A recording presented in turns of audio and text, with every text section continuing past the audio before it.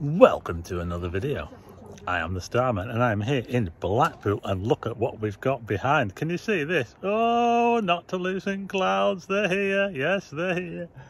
I am stood, oh, well, I'm stood on some garages actually. These are garages, I think. I am on um, South Shore. Um, it's called Harrowside and this is Harrowside Bridge here.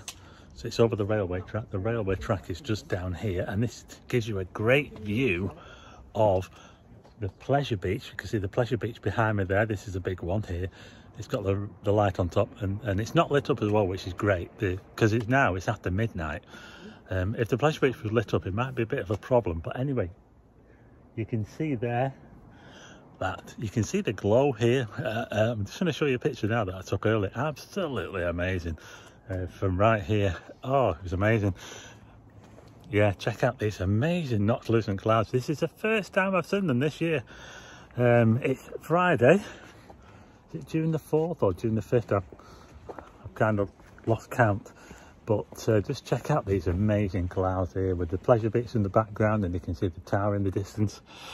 Yeah absolutely amazing. So there you go.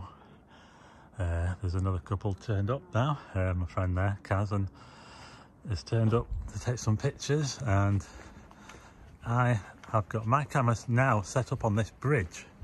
So this is the bridge here on Harrowside, just across the road from the Armenian kebab shop, which is the best kebab shop in town. There you are. So I've come onto the bridge just to get a different angle. I did take some shots from over there, but I've come up here because I sort of wanted to get a wide shot of the railway track. Can you see the railway track down there? And I've actually pulled back now and I've put my 70 to 200 on, as you can see. And I wanted to zoom in. I'll just show you on the screen. Look at that. Whoa, look at that. Isn't that amazing? But I just want to show you something. One of the problems I've had. Now, you can photograph these fairly easily. In fact, you can even photograph them with a, with a, with a mobile phone. I just want to show you something. Um, can you see we've got some lights over here, these lights here. Now those lights are a bit of a problem. If you look on my screen, I'll just show you. Can you see this bit of ghosting here? There's a little bit of ghosting. I'll show you a picture now and you might be able to see it on. It's a bit of flare and I'm struggling with it and I think it's those lights down there that are doing it. So I put my lens hood on. Can you see I've got the lens hood on there and that doesn't seem to uh, block out the uh, the flare there. But if I put my hand in a certain place here watch that disappear. Can you see it? Can you see it disappear? Look. As long as I don't put my hand too high up. So that that's one of the things you've got to watch out for when you're shooting at night. You want to try and avoid flare from lights but just look at that. I mean I'm filming this with my phone and look you can see the clouds, no problem at all. And can you see as well that we've got this dark cloud down here? In fact, it's a bit of a big dark cloud actually, I don't like it. Um, but that shows you that that's a normal cloud.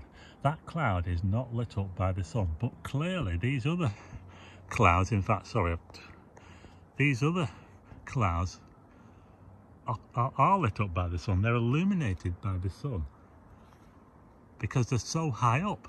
They're in the mesosphere. They're so, so high up that they can be seen by the sun. And that's what gives them that eerie glow. But look at that. Doesn't it look spectacular? Look at the contrast between the dark cloud, the, the terrestrial cloud, should we say, and the, the, the Noctilucent cloud looks absolutely amazing.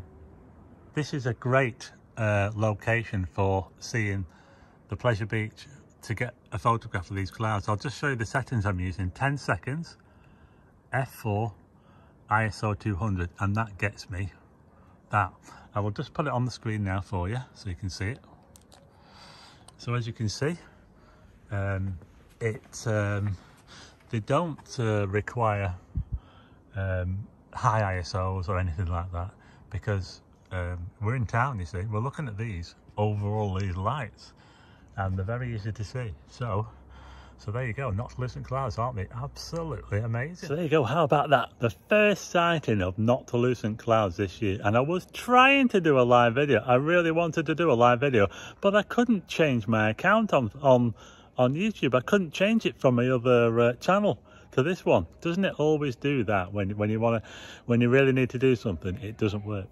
So anyway, I hope I've um, uh, given you a good idea of what these clouds are and what to look for. And we're looking towards the northwest, by the way, at the moment. Sort of northwest, but they are kind of moving towards the north as the sun moves below the horizon as it dips lower and gets to its lowest point in the north and then starts to come up again towards the yeah, north. So they could show up in the northeast more towards dawn when the sun rises. So you can either see them after sunset, say from about an hour to an hour and a half after sunset, or if they don't show up then, they could show up later. You know, they could show up more like say two to three o'clock in the morning or something like that. So just gives you an idea of when to look for them. So there you go. That was my little video on Noctilucent clouds.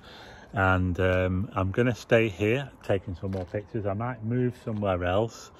Um, they're still very bright, but that dark cloud, in fact, they look really good against that dark cloud because the contrast is amazing. You've got that really dark cloud there, not lit up by the sun at all because the sun is so low down, but you've got these glowing clouds here, the ice clouds that are lit up, but they can see the sun and that's why they're glowing against the twilight sky. Absolutely amazing. Anyway, I hope you like the video and if you do, hit the like button and also hit subscribe and tick the bell for notifications of new videos and I will see you again next time.